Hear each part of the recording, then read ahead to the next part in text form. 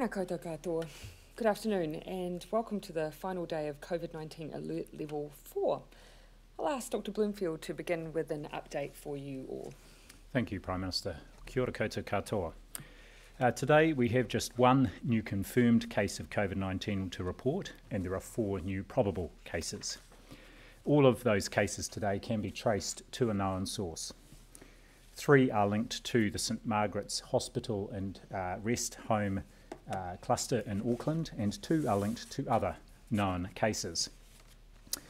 In the context of our overall total, six cases which were previously probable have been reclassified as either still under investigation or not a case. So this means our current national total is now 1,469, and that's a, a net reduction of one. The confirmed, the total confirmed cases is 1,122. This is the number we report to the World Health Organization, and it is also the number that many countries report publicly as their total number of cases. For example, Australia. So this number at the moment, 1,122, is the number that is comparable to those of other jurisdictions, including Australia. The reason why some of those probable cases have been reclassified is because public health units are working with us to review recent probable cases. Some uh, of these, for example, have been classified as probable cases as part of a precautionary approach around clusters or existing cases, particularly over this last few weeks. Uh, this means then we put any, we identify close contacts and we put them in self-isolation while they are being investigated. We've found then uh, in going back and reviewing those cases, especially in some instances where they have repeated negative tests, that they no longer should be classified as probable cases. And we will continue to do that uh, over these next few weeks to help get a really good picture of what our total case number is. We will continue to report each day the number of confirmed and new probable cases and the net total. Yesterday there were 2,939 laboratory tests processed. Our combined total to date is 123,920 and the lower number of tests yesterday, as you all know, fits the pattern we do see on weekends. Of our cases, 1,180 are reported as recovered, an increase of 38 on yesterday, and this means around 80% of our cases are now recovered. Today there are seven people in hospital, again unchanged from yesterday, and this includes one person in intensive care in Middlemore.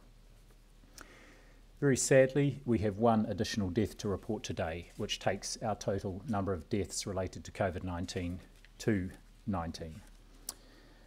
A woman in her 90s who was a resident at St Margaret's Hospital and Rest Home died yesterday in Waitakere Hospital. Our thoughts are obviously with her family at this very sad time. This woman was a confirmed case of COVID 19 and had a number of underlying health conditions. She was one of a group of residents transferred to Waitakere Hospital earlier in the month and is the third person from that cluster to have died. Her family have expressed their gratitude to the Waitakere Hospital staff who cared for their loved one. There are still 16 significant clusters, and again, this is no change from yesterday. We have only one case since the 1st of April where we are still investigating the source of infection. This is a confirmed case in Tauranga and a possible link is still being investigated. A second case that was in Waikato uh, that we had reported on in the last few days is now no longer considered a case. Uh, that person was a probable case, but following further investigation is no longer classified as such. Just a note on how we manage cases and close contacts under Alert Level 3. There will be ongoing strict isolation and monitoring around all confirmed and probable cases. All confirmed and probable cases will continue to be managed in quarantine or, or managed self-isolation if they are recent arrivals into New Zealand or will be under strict self-isolation and active management if already in New Zealand active management of cases and self-isolation uh, means there are daily phone calls to check on the health and welfare needs of people, including any symptoms they may have. And likewise, the same process happens with all close contacts. Daily uh, contact is made to ensure they are um, undertaking the mandatory self-isolation for 14 days to check on symptoms and indeed any welfare needs they have. Uh, a new Health Act order comes to effect, into effect from 11.59 tonight uh, when New Zealand moves to Alert Level 3. This uh, new Section 71 uh, notice under the Health Act is available on the Ministry of Health website and contains very detailed information about the constraints on activity uh, under Alert Level 3 and also um, how permissions are granted for certain activities. And finally, uh, just a reminder to people who have any health needs, uh, and in particular those that are not related to COVID 19, please do not delay seeking care from your GP or through the Healthline number 0800 611 116. That is the regular Healthline number. And as usual, if it is an emergency, please do call 111. Uh, and if you get an appointment, an appointment from your district health board uh, in coming days for an investigation or to go in for treatment, uh, please do take up that uh, invitation. Uh, we can assure you that hospitals will be operating uh, with everyone's safety in mind, including those of patients, families, and of course staff. Thank you, Prime Minister. Thank you, Dr. Bloomfield. We are now 11 hours away from the lifting of level four and of the strictest constraints placed on New Zealanders in modern history. It's been nearly five weeks living and working in ways that just two months ago would have seemed impossible. But we did, and we have done it together. Let me th- run through a few of the numbers that show how far we've come, the figures that we've been working towards in order to be able to confidently move to level three. Our testing has uh, grown from obviously zero pre COVID 19 to the capacity to process up to 8,000 tests per day. That's resulted in us having one of the highest testing rates in the world per capita. We have a very low percentage coming back positive each, each day, as low as 0.05% last week and only 0.17% today. This provides strong evidence that there is not widespread transmission that is going undetected. The virus has a transmission rate of around 2.5 in most places without controls, under lockdown, this has dropped to 0.4, less than half a person infected by each individual. And for the last few days, our cases have been in the single digits, with, as you will have heard from Dr. Bloomfield today, just one confirmed case. It is worth pausing to digest those numbers. They are incredible, and they are thanks to the sacrifices that every single New Zealander has made.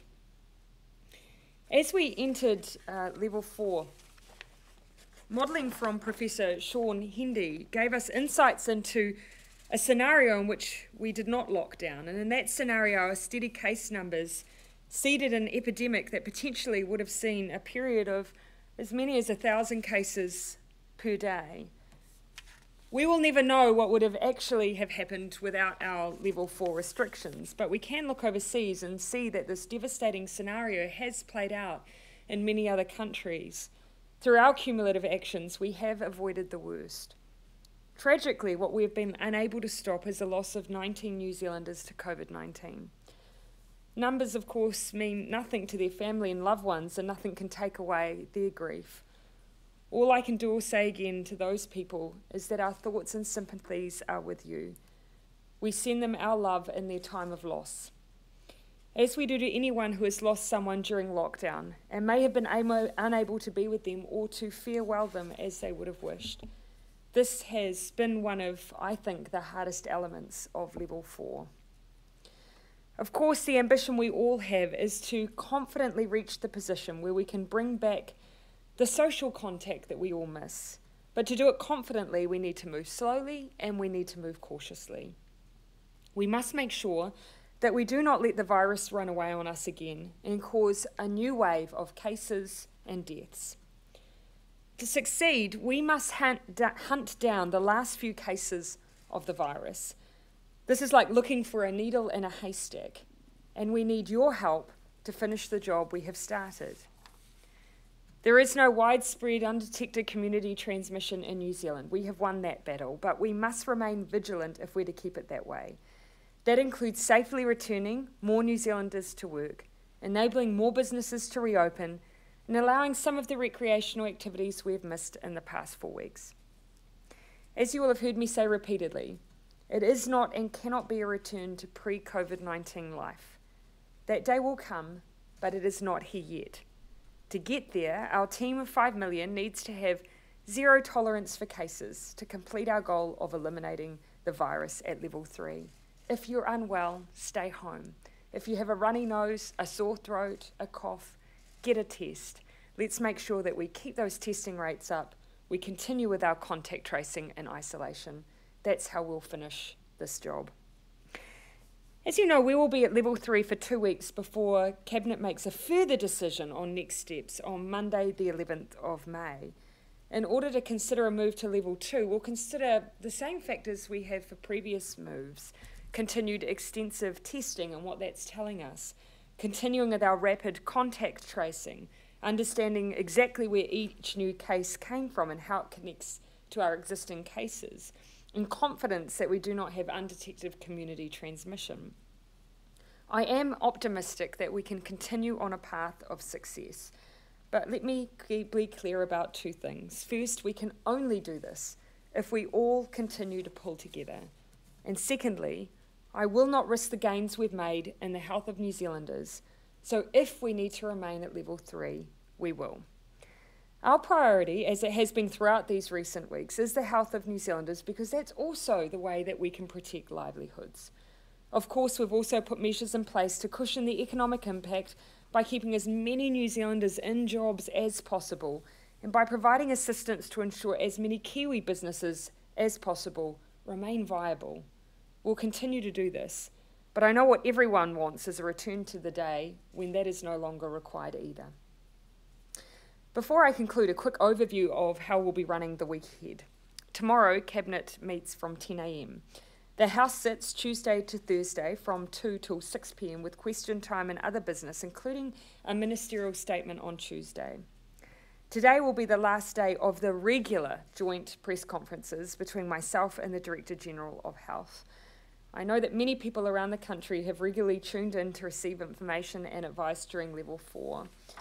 And so that's why I want to preserve my thanks for the day to Dr. Bloomfield. I consider New Zealand to be very lucky to have a public servant of Dr. Bloomfield's calibre leading the health response. His background in public health has meant I consider New Zealand uh, to be amongst those countries who are lucky to have that expertise uh, in leading our response, one that considers the health and well-being of New Zealanders in every respect. Uh, and so, Dr. Bloomfield, it's been a real honour.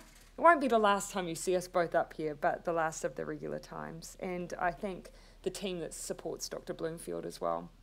From tomorrow, the Ministry of Health will continue their daily updates at 1pm. I'll return to my normal schedule of post cabinet press conferences and daily media stand ups separately before the House. And most days there will be government announcements from this podium as we move through level three and increase our focus on the government's economic response to the virus. I anticipate at the time that we make announcements on whether or not we're moving from level three that again I'm likely to be joined by Dr. Bloomfield at that point.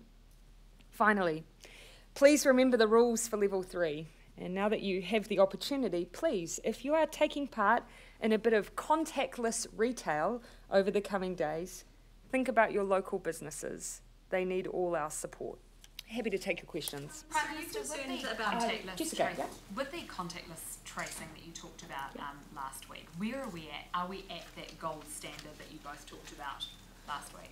For contact tracing, we have scaled up a significant amount. We have the ability to make as many as 10,000 calls a day if that is required. Uh, of course, what we want to do is make sure that we are as successful as we can be. So we can do our part with having the capacity. Now we're asking New Zealanders to do yours. Record where you've been, who you've been with, and that will make our job all easier. Dr. Bloomfield, you might wish to say more on that. Uh, yes, two comments, Prime Minister. One is I did have a, a, full update from my team at the end of last week on progress with um, both the rollout and also the response to um, Dr. Verrall's recommendations, and they're progressing very well. I, and the second thing is I've asked them to um, invite Dr. Verrall back in during this week to talk her through uh, what um, further action has has um, been completed, uh, and just to get her further um, reflections and any further suggestions she has at gold standard, do you feel confident going we can go into level three safely, like you said last mm. week? Yes, I do feel very confident we can do that, and uh, there are two reasons for that. One is I've had my team out during the week visiting three of our public health units who have been uh, actually at the forefront of some of the contact tracing, well, case uh, management and contact tracing. And uh, it's clear that they have scaled up considerably with that first amount of money that was made available, and they know exactly what that further they need to do to scale up. So at the moment, they can themselves trace 185 uh, cases a day and uh, looking to scale that up to 300 and then our, uh, being able to link electronically with our national contact tracing centre and link all the data including lab data and so on through NHI number will allow us to scale up to that that target we still have of a thousand cases per day if needed. So yes to gold standard. Yes, I believe we are at that point. Close contacts of positive COVID cases has the ministry been un unable to reach? In total over the entire course of our action against COVID 19. Uh, in total, we'd need to go back and look at some of those details, keeping in mind that some of the probables that are being announced in uh, even in recent weeks have included individuals that we've identified after they're no longer symptomatic. And that's been part of our work as we've identified a confirmed case. They may have people in their household that have displayed symptoms that we then determine to be probable. Uh, and so sometimes, actually, in those cases, the data around contact tracing will look like it has a long lag time won't actually be an accurate reflection of what's happened in a household. Yeah. The average time, the average amount of time it takes to complete contact tracing um, for a, a, confirmed case, to fully complete contact, contact tracing for them? Of course, we want that window to be as narrow as possible. So the goal that we're working towards, of course, is you're wanting that contact tracing to be in that first 48 hour period. Uh, but for that to be successful, it means someone needs to come forward very early on when they're manifesting symptoms the turnaround of their test needs to be quick, and then the contact tracing around them needs to equally be very fast. You'll see from the fact that every day when we come down, we can describe to you where someone has contracted COVID from, that those first interviews happen very, very quickly. The success of reaching people around those cases will all come down to whether someone knows who they were contact with, knows their names, and we're then able to find them. I just want to follow that up, Prime Minister. So, what we've seen over the period of time is, and particularly as we've been in alert level four, and we want this to continue into alert level three, hence the importance of people uh, recalling where they have been and, and making a note of that. Very early on, when we had uh, the cases first arriving, contact tracing was much more difficult because people may have been in a range of different locations. And here's an example we might have got an email at the ministry that said, um, this person caught a bus from Auckland to Taupo uh, with this company. Uh, and then there was a lot of work that would need to go on to find out uh, with the company who else was on the bus to try and find contact details. Clearly, that's been very different in Alert Level 4. And as we move into Alert Level 3 and the number of potential close contacts for people expands, it's very important that we understand so that if we do have cases, just who those close contacts are, and that's part of the reason we're stepping cautiously. That, are you concerned about creating new potential chains of transmission from all of these bubbles in level yeah. three expanding? And this is why I cannot, uh, I cannot emphasise this enough. With level three, there are new risks. People are going back into their workplaces, and that will extend the number of people they have contact with. That's why we ask that you still keep your distance as much as you're able from those who are in your workplace and to reduce the risk further, make sure you stick to your bubble at home. We are opening up the economy, um, but we're not opening up people's social lives for the very reason that we need to reduce down our risk as much as possible. We are extending bubbles though, aren't we? So, for example, in a house of flatmates where someone's parents are now coming over, and then another flatmate has a partner visiting, or another flatmate might just have a friend coming over, you're getting a whole lot of different groups. And in those, you'll recall that we've said we want any extension to someone's existing bubble to be small. I would uh, encourage anyone who's in a shared household, like a flatting situation, to think carefully about what that means for them. Uh, we're talking about necessary contact. Uh, we're talking about, for instance, a caregiver if you need, or if you've got someone in your life who is isolated and has had no contact with anyone else. But for a household like a, uh, a flatting situation, they do need to think cautiously and act cautiously. Yeah. Phil, can I ask why the ministry stopped classifying cases as community transmission on the website? Uh, yes, what you'll see on the website is now we've got a, a, a different classification because um, what's become important is uh, and, the Prime Minister's talked about this, is whether we know where the cases come from. And of course, as we've been in alert level four, we've got two, we've got effectively two types of cases. Uh, people who are arriving into the country from overseas who go into quarantine or self isolation, and people who have become a case because they've been exposed to someone already here. And what we're doing now is classifying them so that we can give uh, essentially more useful information about whether that has been um, uh, the, the, transmission from an existing case, either as part of a cluster or not, and where we can track back as to where the exposure might have happened, or whether we can't. And as I said earlier on, we've only got that one case since the 1st of April where um, even then there's a strong suspicion, but we can't um, necessarily trace where that infection happened. Does that, does that mean we're basically on the brink of elimination? And, and what targeted testing is done or is, is being planned for that time of the case? Yes, that does give us confidence that we've achieved our goal of, of elimination, which never, never meant zero, uh, but it does mean we know where our cases are coming from. Uh, and there will be ongoing uh, focused and extensive testing through into alert level 3 and beyond with two aims. First of all, to rapidly identify any cases, hence uh, the importance of anyone with symptoms seeking advice and being tested. But secondly, uh, that surveillance testing, which is will be will be targeted to, in particular, um, uh, get good spread across geographical regions, different ethnic groups, and in particular workplaces like hospitals, like aged residential care, uh, where essential non-health essential workers like supermarkets may have exposure to a lot of people. So we'll be quite systematic about that testing, and there's a, a plan around that. And each DHB is currently uh, providing us with their plans about how they're going to do that in their region. Yeah, just clarify, does, do you mean that you consider um, COVID-19 now eliminated in New Zealand? Uh, I, I, would say currently, that, yeah, yeah. Uh, well, what I would say is that our goal is elimination, and again, that doesn't mean eradication, but it means we get down to a small number of cases, and so that we are able to stamp out any cases and any outbreaks that might come up. And uh, if you think about alert level four, I would say we've achieved through alert level four the position we wanted to be into so that in so that we could now start to move down alert levels. Is eradication a possibility in New Zealand?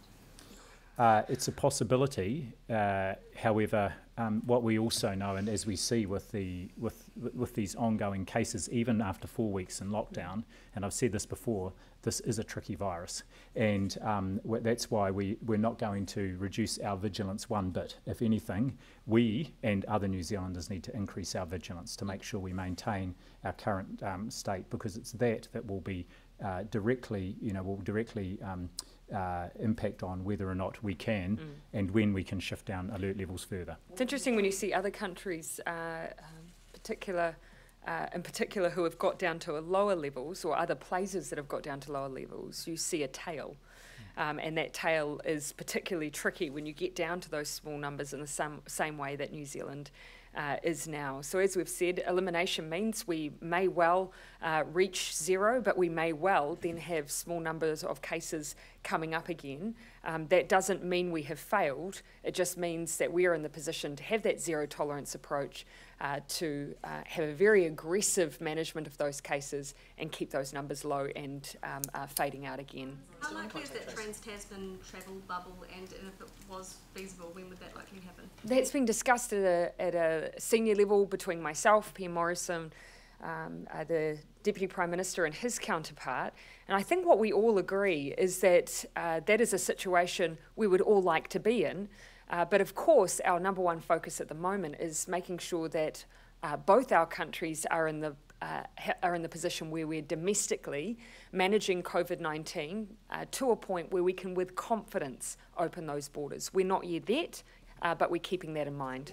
When realistically could that happen? And also, could we see that extended perhaps to other Pacific Island neighbours? Yeah, one thing I'm not willing to do is jeopardise the position that New Zealand has got itself into by moving too soon to open our borders up, even to uh, Australia um, uh, at present. That is something, though, that we absolutely are keeping in mind, that we'd like to work towards. But I think both countries need to feel confident that we can do that without putting at risk uh, either country's health or economy. Pacific Island nations. I put that in, them in the same category. We do have to be particularly cautious. Uh, our Pacific neighbours, in large part, have not been afflicted by COVID 19, and the last thing we would want is to risk that. What about opening New Zealand up to Australian citizens um, re- re- uh, on the on the basis that they uh, quarantine Yeah. as New Zealand citizens do? Because Yep, yep. they're Australians living in the Yep. Uh, their families can't. And I see that as a very likely prospect. Uh, of course, we're using quarantine at the moment to make sure that we can safely return New Zealanders. And if we're in a position uh, where we're wanting to open uh, to um, up to New Zealanders, uh, sorry, those who are living in Australia currently who wish to come into New Zealand but are willing to quarantine themselves, then that is something that we could consider. Uh, we need to keep in mind, though, constantly maintaining the capacity to do that safely and to do that well. So on another, Uh, yeah. on another Australia um, related matter, um, they've launched the app in the last 24 hours. Yeah. Could we have an update on how the New Zealand app is going? Yeah, so progress continues. I would point out that the Australian app, as I understand, is very similar to the Singaporean app. And I think one thing uh, that uh, globally we're seeing acknowledgement of is that it is not a replacement uh, for human and one on one contact tracing between uh, someone who works in our public health units and someone who has COVID 19.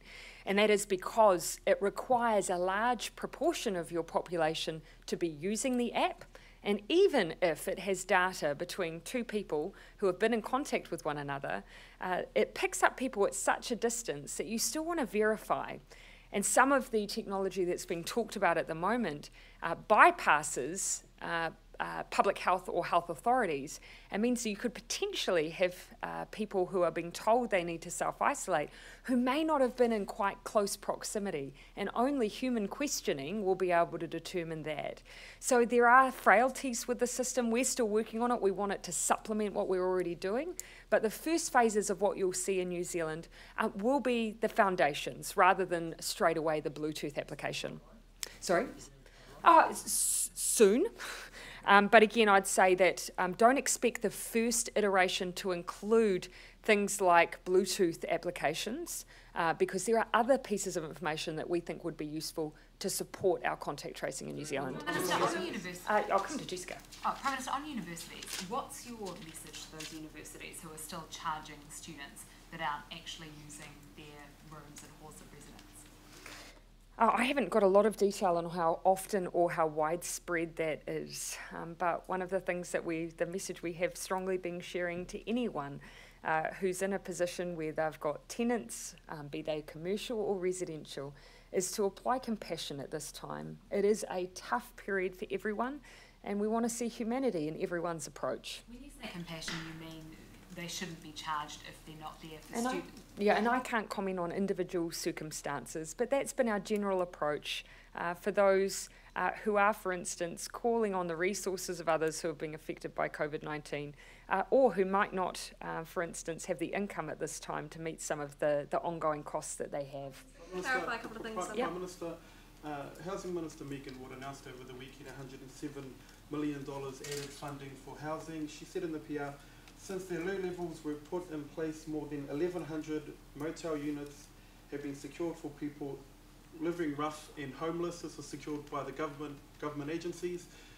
When looking to go down to level two and level one, will the government consider utilising marae and financing marae to provide that accommodation, given that it, it appears to be a more cost-effective way to do it and also would benefit those local marae? Hmm.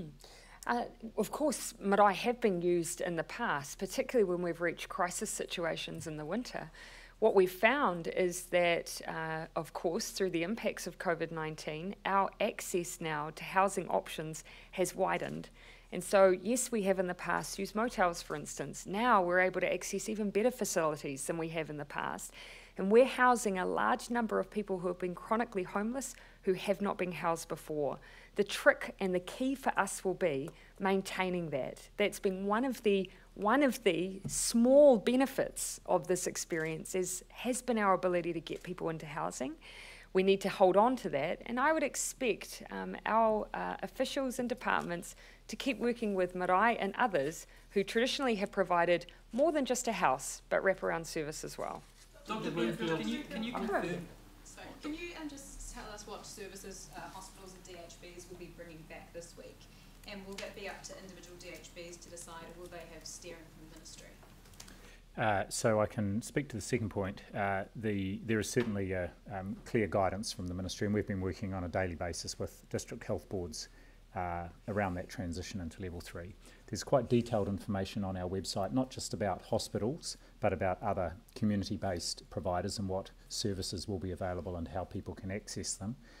I guess the key principle for district health boards uh, and their hospitals over coming uh, days will be uh, starting to move back to providing um, more elective um, and planned services, both outpatient appointments and also um, potentially surgery and other procedures, uh, and then easing into that within the context of wanting to keep everyone safe. So making sure their infection prevention control procedures are all uh, are all A1, and while still maintaining that ability, if necessary, to scale up a response to COVID.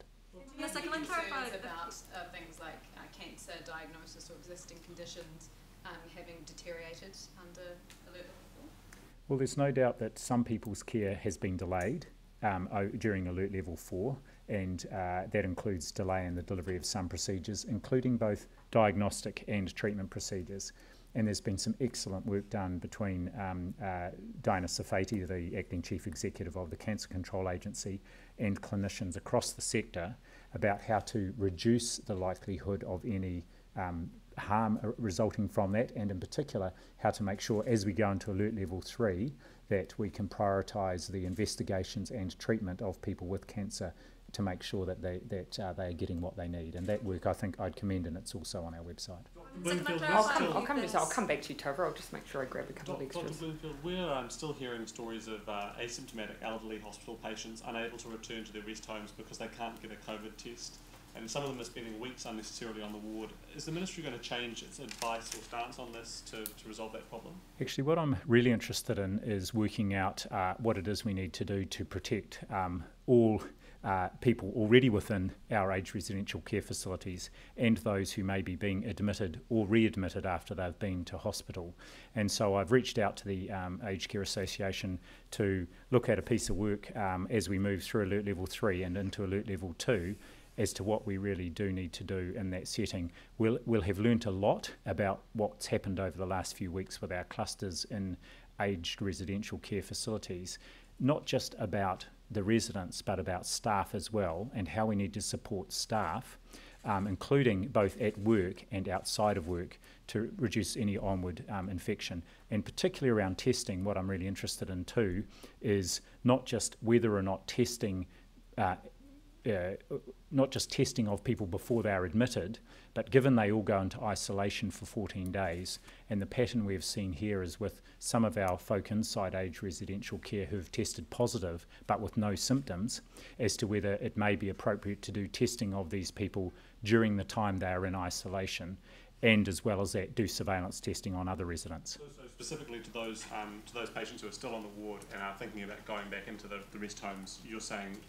at the moment the solution is isolation for 14 days in that interim period and then working out something around testing. Yes, so the, the isolation for the 14 days has been in place right through alert level four, and, and uh, we've agreed on that, and that's something that happens even if someone is tested because it's clinically indicated and if the test is negative. If it's positive, of course, then they they're not admitted. If it's negative, then they still go into that 14 day isolation period. What I'm really interested in, and there's some um, uh, paper just published in the New England Journal of Medicine about the experience in the US where they've got actually t- infection in 10% of their aged residential care facilities, is what ongoing testing is appropriate in this population, which is high risk and also may not display symptoms or be able to describe their symptoms. Prime um, Minister, can I what do you, clarify a few Oh, things under Jason, level and three? then I'll come back to you, Tova. Dr. Yep. Bloomfield, what do you make of suggestions by some leaders overseas that people should be injecting themselves with bleach to kill COVID 19?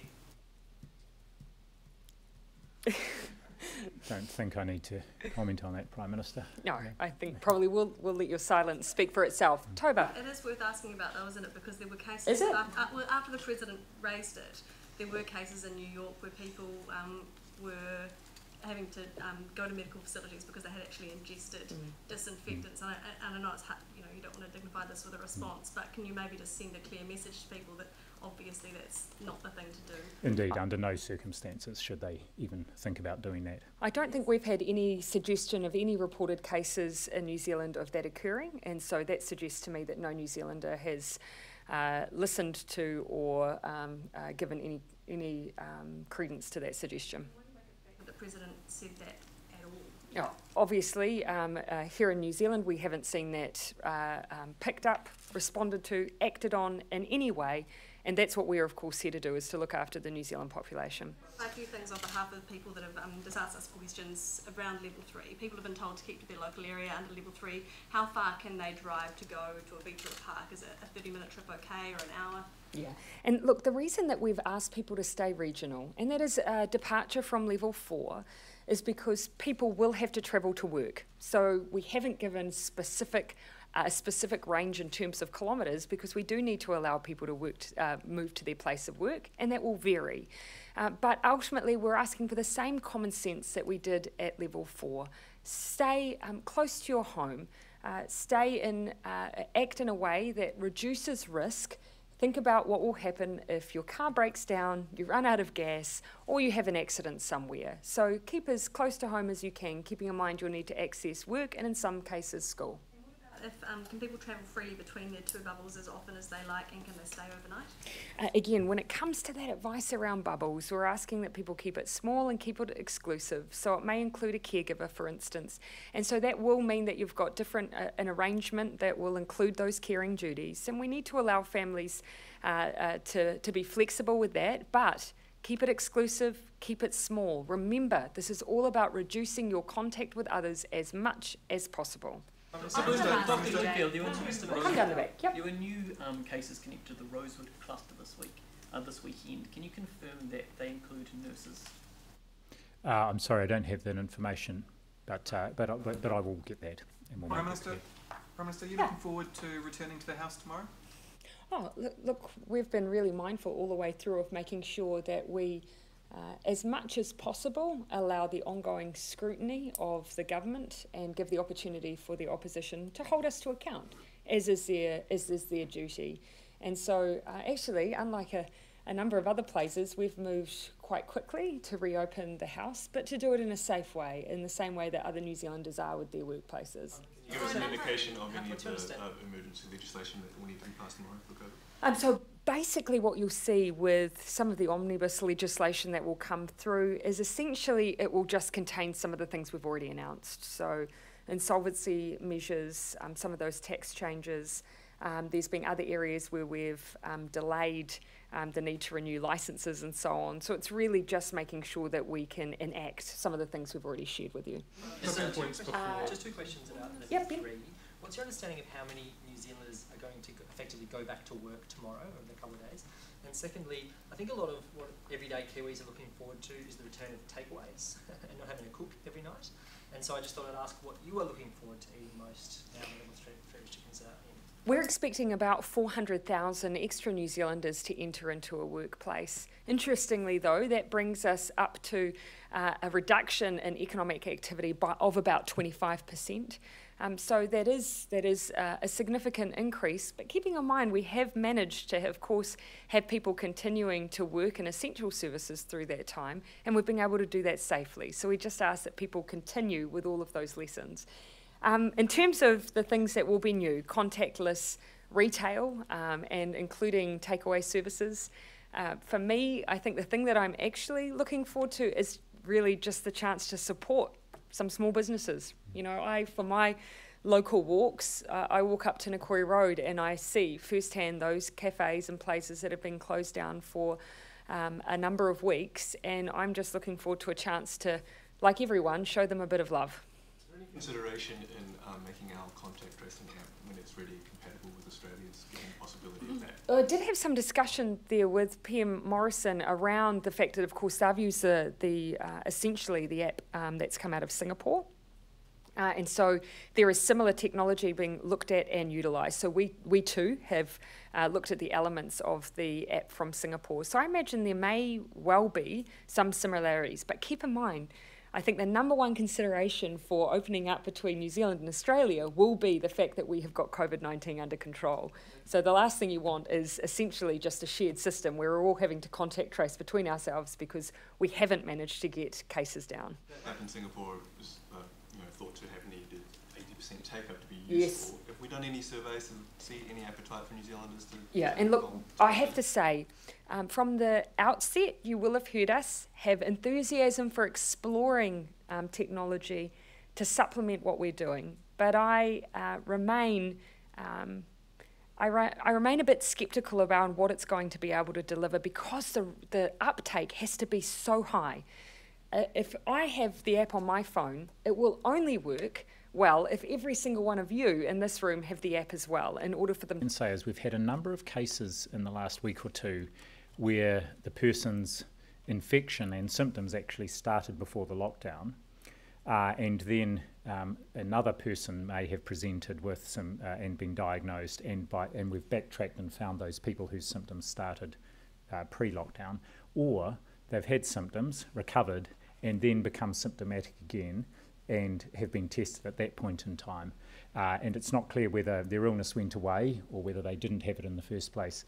But the good thing is, as I say, since the 1st of April, so now nearly, uh, well, th- over three weeks ago, three and a half weeks ago, we have not, we've only got that one case, and, and even then we're quite confident about what the trace, the trackability is back to where the infection happened. Could Okay. have been a reinfection then in that case. Uh, look, it, this is one of the, the big um, unknown um, questions, and you'll see this being um, considered globally, is whether people do develop immunity, um, how long that might last for if they do, whether they can be reinfected, whether someone tests positive and then some weeks later tests positive, whether that m- means they are still in, able to infect others or it's just um, a carryover of some viral remnants. These are all things we will be watching very closely because they will impact on how we now manage our way through Alert Level 3 and into Alert Level 2. Okay, last question, Jackson. Um, Prime Minister, will David Clark remain as Health Minister until the election? Oh, I've said that David Clark is our health minister, and I have no intention to change that. Okay. Thank you, everyone.